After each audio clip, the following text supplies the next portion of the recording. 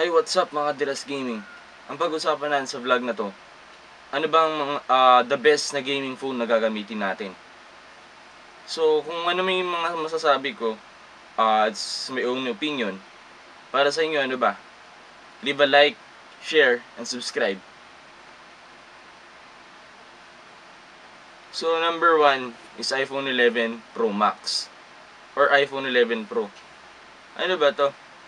Yung iPhone kasi, ah, dyan ang pinaka-smooth gaming sa 11, iPhone 11 Pro Max or iPhone 11 Pro. The iPhone 11 Pro Max is the bigger, better brother of Apple's US flagship smartphone. In a few key ways, but if you are picking either model for gaming, you might as well go with the best. The 6.5 inch screen of the iPhone 11 Pro Max is bigger than the one on its 5.8 inch sibling and it's bigger battery manages to stay working longer than the standard iPhone 11 Pro. So sa test nila, it loaded up Clash Royale and PUBG even faster versus the iPhone 11, iPhone X. And speed is crucial in online gaming. Lalo na pag nag-mobile legends ka. Pag naglalag yung phone mo, yung tendency pangit ang laro mo, natatalo kayo, nagka-crash yung game, and so on. Number 2 phone is OnePlus 8 Pro. The OnePlus 8 Pro is a proper flagship phone. No more cutting corners, no more flagship killers. Underdog mantra, OnePlus is now officially mixing it with the big, big best names in the industry of mobile. It means the 8 Pro is also the most expensive handset as of date. But there's plenty of bang for you back to justify the cost. Plus, it's still a shade cheaper than rival Samsung, Apple, and Huawei smartphones. So, pag nag... Bali, parang ha- halos same sila lang performance ng iPhone 11 Pro Max sa OnePlus 8 Pro. So, ano pa ba yung iba na gusto mong try? Pero, swak sa budget mo, di ba? So, Samsung Galaxy S20 or S20 Plus.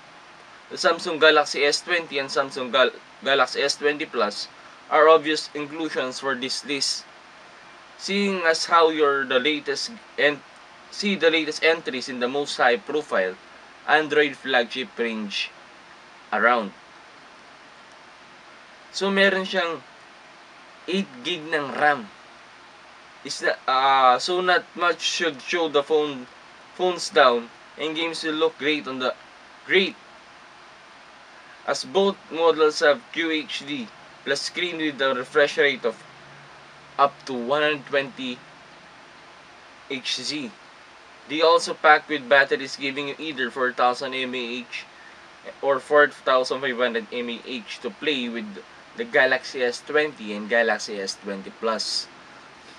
So next, Galaxy uh, Black Shark 2.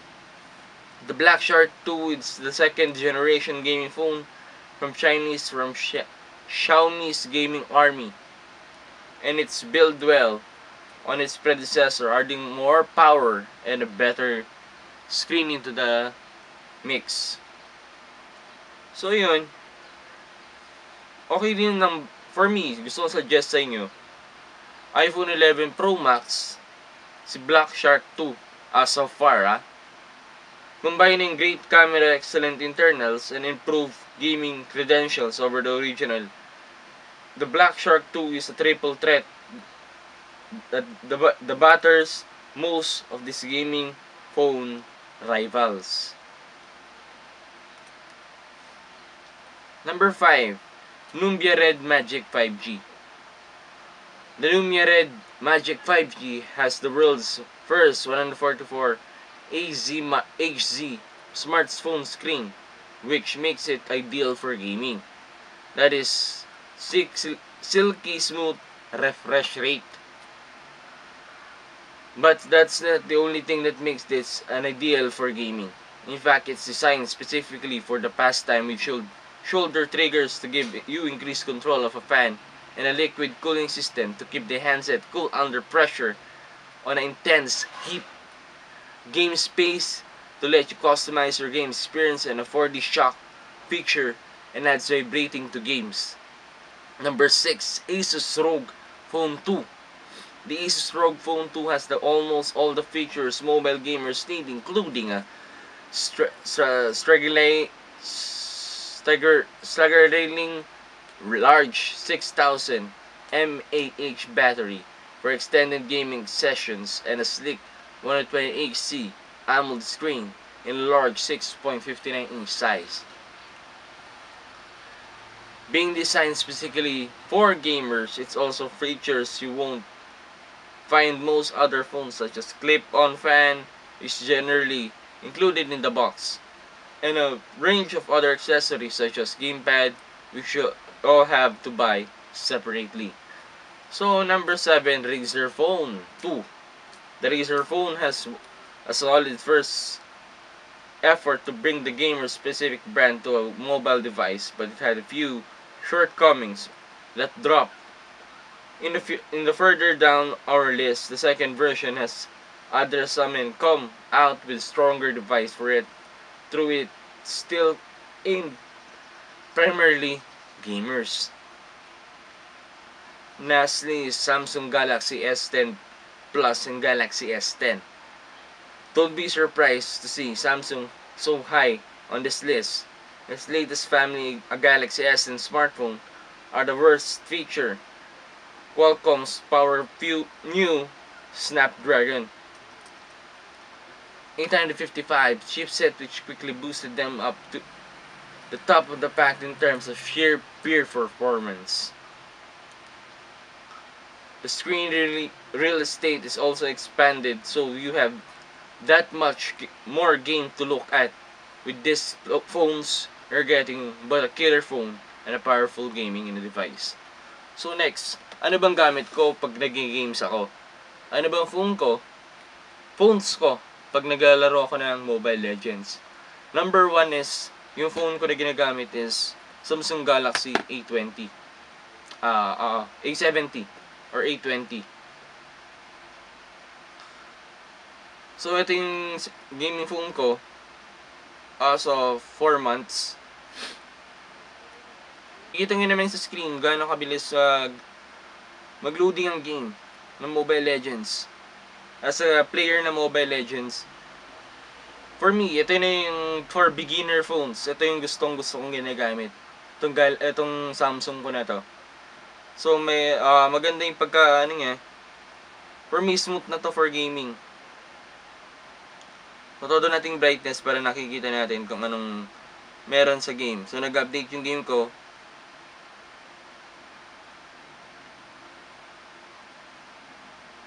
So far, ito yung maganda sa akin na gaming phone. As well as, meron akong Oppo A3s for, for backuping this gaming phone na ginagamit ko. So nakita naman natin gaano siya kabilis pag nagtouch. Minsan may konting lag. Pero for beginners, okay na tong ganitong cellphone. See? Wala tayong problema sa kanya. As so far. As of 4 months na ginagamit ko to, ito yung pinaka the best sa gaming phone. Para sa akin.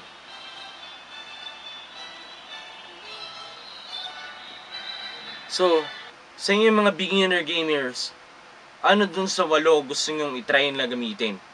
Or, gusto nyo mag, mag ah, cheaper budget, low cost, pero maganda rin yung quality for, for gaming, try yung Samsung na ginagamit ko. Smooth gaming, good graphics, ah may lags ng konti, pero the best yan. Suggest ko ng smartphone. So, for me, Realme 6i. The phone is powered by, Oc- by octa-core 2HZ dual-core Cortex A75 plus 1.8 GHz hexa-core Cortex A55 processor. It runs in the MediaTek Helio G80 chipset. It has 3GB RAM and 64GB internal storage. So, Realme 6 naman. Smartphone runs on Android V10 operating system. The phone is powered by Octa octa-core 2.05 GAZ dual core Cortex A76 plus 2 G, GAZ hexa, hexa-core Cortex A55 processor. It runs to on the MediaTek Helio G90T chipset.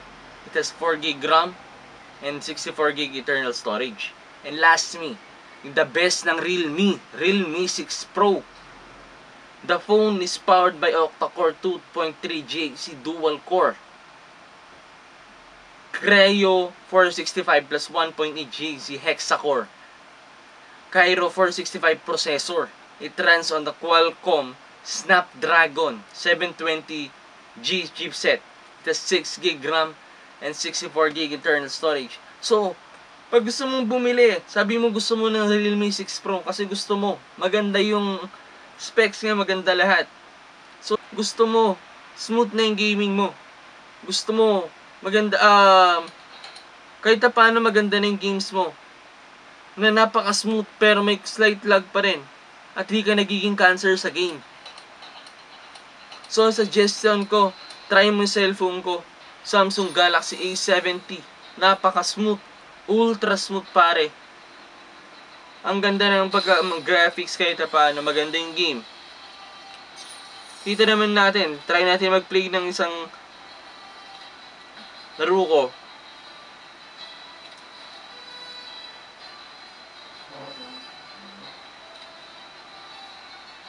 So, meron siyang slightly, slight na lag, pero ultra smooth yung gaming natin pag ginagamit natin si Samsung ko.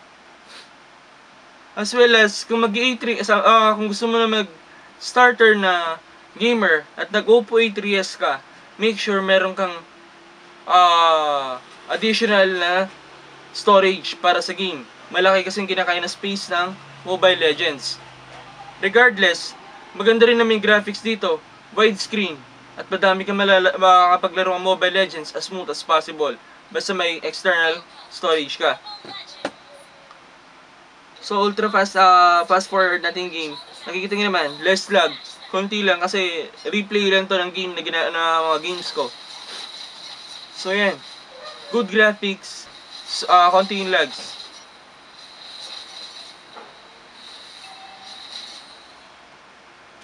So, thank you for watching this video. Please like, share, subscribe, comment for suggestions. Diras Gaming and Cooking Vlogs.